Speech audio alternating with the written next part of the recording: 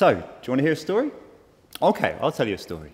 Come back with me, way back, back to the very beginning, when humans were living wild and, and, and lost in the undergrowth, subject to great titanic powers that ruled our lives the wind, the sea, the earth beneath us. But over time, as we looked out and we tried to make sense of our existence, new gods arrived gods of craft and artifice and wheels and trade.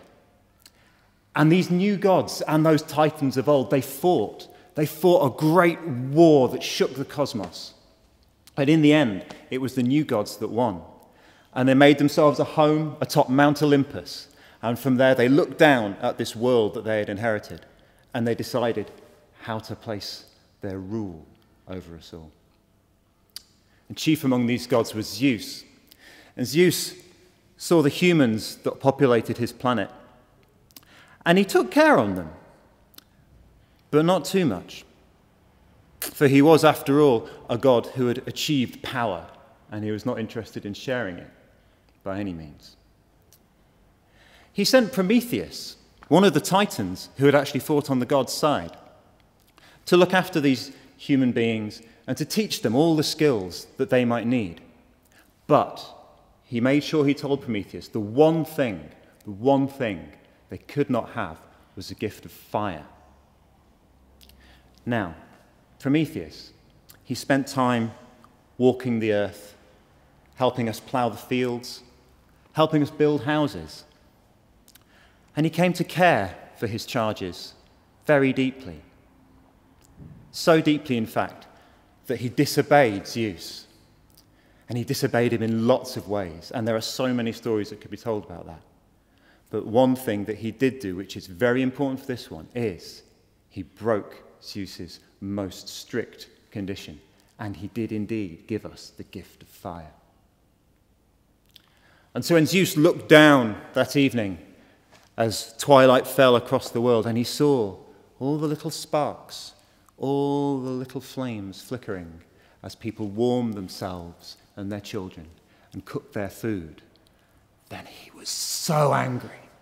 He was so incensed. And he flung himself down for Olympus and he took Prometheus and he placed him in chains on the side of a mountain where every day an eagle would fly and it would devour his liver. But Prometheus, being immortal, would live and his liver would heal overnight. And again, the eagle would come the next day and the pain would begin all over again. But Zeus was not finished. For he may have punished Prometheus, but he still had to make sure that he had humanity deep under his heel. So, he took a woman, the name of Pandora and he sent her down from Olympus to walk among the people. And he gave her to carry with her a box, a simple box. He didn't tell her what was in it. And when she arrived, then all the people gathered round in wonder at this woman who had come from the home of their gods. And they all clamored and cheered, and they all wanted to know what her message was, and they all wanted the honor of having her among them.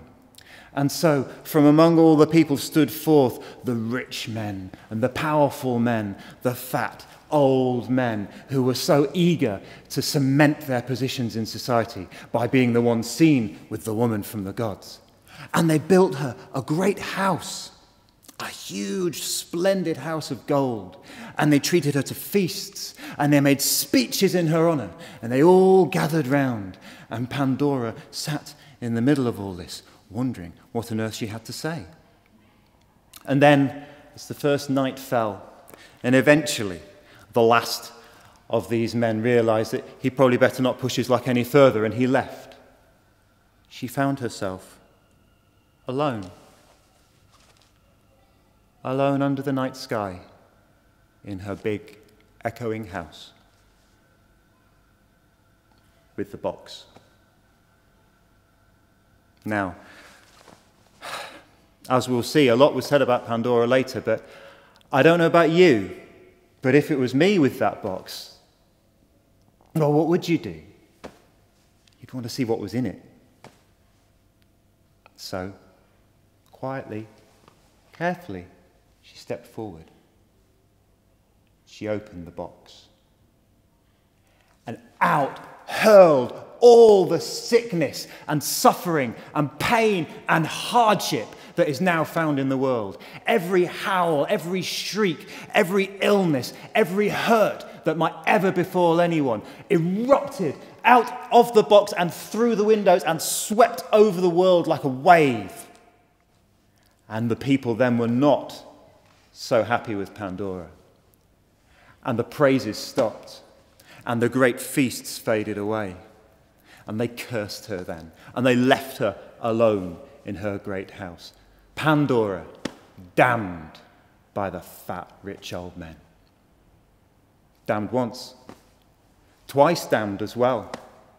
Damned also by the gods who set her up to fall, sent her there, knowing that her curiosity would get the better of her, as it would for anyone. But not just twice damned. I say damned three times. For when there she was, left on her own in the dark of the night, every night, listening to the howls of the sickly babies and the weeping of the aged and pained, with nothing but the shadows and the echoes for company. As she thought back on how this came to be, would she not have felt it impossible not to say to herself, I open the box. It's me. Damned three times by the fat, rich old men, by the gods themselves, and by her own conscience. But the story doesn't end there. Because as she sat there in the night, alone, in the silence, she heard a small voice, just a little voice saying, Please, let me out too. She looked in horror. The voice was coming from the box. And at first she stopped her ears and would not listen to it, but it kept going. Please, let me out too. And all she could say was, No, no, I will not. She'd done so much already. But the voice carried on. Please, this is very important. You must let me out too. And in the end, maybe it was weakness, maybe it was conscience. Pandora listened. She went to the box and she said, Why must I let you out? And the little voice said, I am hope. I will bring salvation and I will bring healing to all those who now suffer in the world. And without me, then the pain that has been wrought will indeed be unbearable. So Pandora had a choice. Pandora thought. Pandora leant forward. She opened the box